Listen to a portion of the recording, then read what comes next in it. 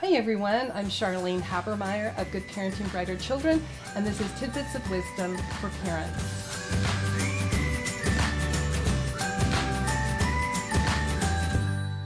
Today we're going to talk about a really interesting subject. It's the topic of mind mapping. Hopefully you've actually heard about mind mapping. My children were taught mind mapping in elementary school, and they were also given some pointers when they were in middle school. I think it's becoming more and more popular. But basically, it's a way of taking notes and solving problems and making goals. It's based on the configuration of a brain cell. Okay, so in the brain cell, you have a core, and then you have all of these things coming out called dendrites and neurons. Okay, so there's the core, and then think of the a spoke of a wheel. You have the core where the, where the main thing of the wheel is, and then all those spokes that come out. And all those spokes represent the dendrites and the neurons. Now, what scientists have found is that we don't think linear. Like when you and I, in the olden days, when we were making an outline for anything or trying to solve a problem or trying to take notes in a classroom, and especially in high school, college, we would take linear notes. They were in a long line. They have found that because of the configuration of a brain cell that we actually think circular. Now, we know of some of the jokes that were made years ago about circular thinkers, people thinking in circles, you know, they just keep going around and around with the same thing. Well, that's not how the mind works. The mind actually works in a circular fashion with all different kinds of things coming out from the dendrites and the neurons. And the reason being is we're able to make associations and we're able to make connections to other pieces and bits of information. I'm going to show you some examples of a mind map, and so to help you to understand exactly how this is done. This is a very simple one, and most mind maps don't look like this because when you do a mind map, you're actually doing it by hand. But you can see that the core of the mind map is lifelong learning, and then the different spokes represent things, and then you have little things that are shoot offs from each one of them. And that's when you when you put the core thing is like let's say you're trying to solve some kind of a problem. You put that in the middle. You put about six spokes on, out on the outside. Those would represent the neurons or the dendrites. And then you list different things on each one of those main spokes. Then as you're doing, sometimes when you're working over here, another idea will pop in over here. And so then you can scribble in something here, and then while you're over here, something down here may come to mind. So this is all a part of associative thinking and making connections. It helps people to see the big picture. When I first started learning how to mind map, it was fascinating to me because one thing that I love to do is to see how information connects. So in my mind, I had this huge puzzle. And every time I learn something new, it's like being able to take a piece of the puzzle and to fit it into that part. Now that I know about mind mapping, when I sit down or when one of my kids sat down in high school or college to figure out a problem, we can, you can actually draw this simple mind map with the core in the center, the dendrites coming out on all, all of the different sides, and then as something else comes up, then you put those in. You put all the particulars in, all the different things. If you're taking notes in college, let's say in a biology class, you have like cells in the middle and you're talking all about the different things and the forms of cells, and you're writing down all of the details and the particulars. While you're writing over here, something else will come up that will, will trigger, trigger your memory for something here. They've gone back into history and they have found that some of the most brilliant minds actually have used mind maps.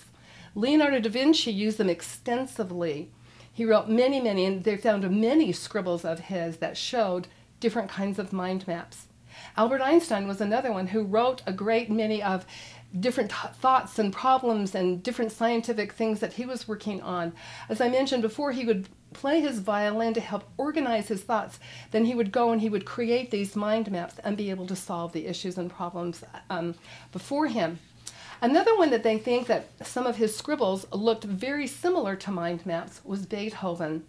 There have been other conductors who have actually taken some of Beethoven's works, particularly his Fifth Symphony, and they created a mind map of the Fifth Symphony so they could see how they were going to conduct it with the orchestra, how all the different pieces had to come together, what were the, you know, how to create, you know, the, the perfect um, finale to this incredible piece of music and so forth. If your child has a problem in school, or if they're having a problem with somebody that they're being bullied or made fun of, or they're just uh, having a difficult time, maybe in a math class or a history class, have them create a mind map Remember, there's a core, is the configuration of a brain cell, and then you have all of these different spokes coming out. Now, another interesting thing that they found out that is that there's mind maps or these very same configurations in nature. We see them with stars, the core of the star, and then the light beam shining out of it. We even see it with um, lightning. You can see the core and all the, the dendrites, so to speak, coming out of it. We see it with snowflakes, the center of the snowflakes, and all of the different uh, web of the snowflake coming out of it. We see it even with like a peacock feather, and you can find it in just about anything in nature. You can see it with leaves, you can see it with trees, you can see it with birds. But here, you know, each one of these um, feathers, it has the core and then little tiny feathers coming out of each each one of those. This is actually a fractal. It looks very much like a snowflake. Fractals are actually mathematical configurations that they come up with these designs from. But you can see the core and you can see all the radiations that come out from it. There's a fabulous mind mapping book. It's called the Mind Map Book. And it's Tony Buzan, and it is fabulous. It will take you through the step by steps on how to actually create a mind map. It will help you to understand that mind maps are found everywhere in nature. It will help you to understand that it can be used as a problem solving, it can be used for goal setting, it can be used for note taking, and many, many other things as well. So, if your child has had the opportunity in school to actually make a mind map, have them draw one for you and then have them explain the parts. And then the next time that there's a problem or a challenge in your family, maybe you want to put that in the core and have all of the family members to, to, together create a mind map. Now here's what you will find, that no two people think alike. Everyone is extraordinarily unique. We all approach problems in a different way. We all come up with maybe similar uh, solutions, but usually never.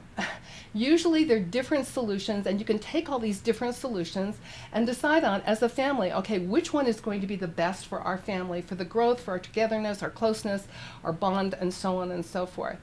You will see that they went in and they talked to bankers and they asked them, give me synonyms for the word money. And they all came up with different types of words. They've gone in and they've talked to teachers and they said, give me a word, give me synonyms for the word student and they all come up with different different words for the for the same same core word that helps us to understand that we all approach life differently. We all solve problems differently. Our brains all work differently, which makes us that's all of the stuff that helps the world to go around. Thank you for joining me and I'll see you tomorrow.